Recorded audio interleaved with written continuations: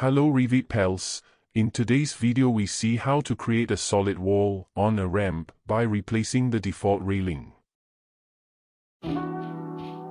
As we see we have a ramp created and in edit type can see properties, dot OK.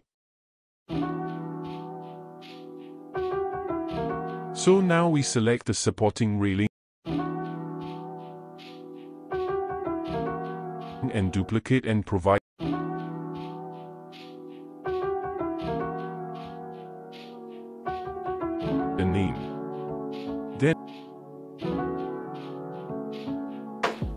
I move to top rail section and choose type.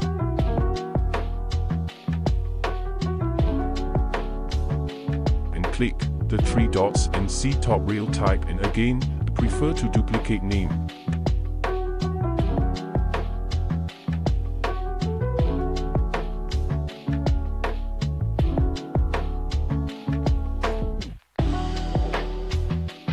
Then below, choose the profile and press Ctrl C, that is copy the name. So later, we can find that profile family name by searching.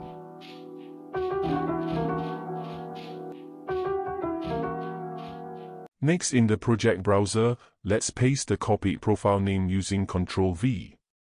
Then look for profile name, dot remove unwanted portion of the pasted. Now we can see the profile name. dot So right click and edit. Now in the family editor you see the profile dot in the ribbon choose. Family types and give a new family type name and I provide the height of top railing profile to be 1100 millimeters in this case. Now zoom to see we can see the height changes since it is parametric. 2D profile.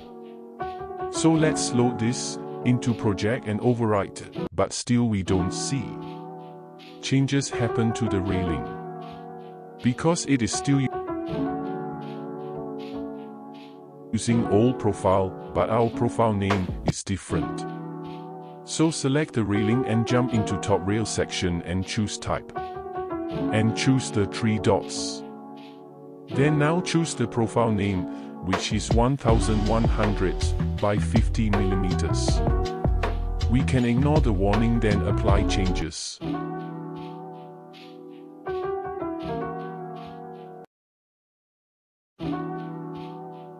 We can apply the same type on other side of railing.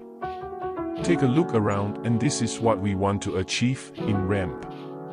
And solid wall support as we see in car parks. See you next time guys.